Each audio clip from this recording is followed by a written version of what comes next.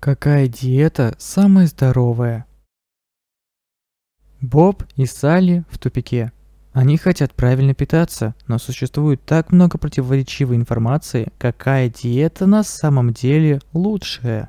Да, в сыре есть кальций, в свинине белок и железо в говядине. Но как насчет багажа, который поставляется вместе с этими питательными веществами? Порция молочных гормонов, сала и насыщенного жира. Бургер Кинг заявляет, что вы можете заказать какой хотите бургер, но вы не можете подойти к прилавку и заказать бургер без насыщенных жиров и холестерина. Еда – пакетное соглашение. Молочные продукты являются источником кальция номер один в США, но это также источник номер один насыщенных жиров. Но какой багаж вы получаете вместе с кальцием в темно-зеленых листовых овощах? Клетчатка, фолиевая кислота, железо, антиоксиданты – это питательные вещества, которых не достает в молоке. В растительных продуктах в среднем в 64 раза больше антиоксидантов, чем в животной пище. Получив большую часть своего питания из цельных растительных продуктов, вы получаете больше пользы вместо багажа.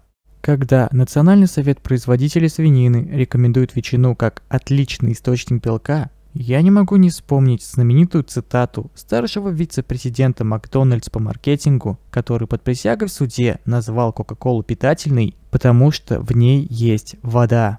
Исследования показывают, что растительная диета может помочь вам похудеть, может быть использована для профилактики и лечения диабета и сердечно-сосудистых заболеваний, понизить кровяное давление и может помочь вам жить дольше.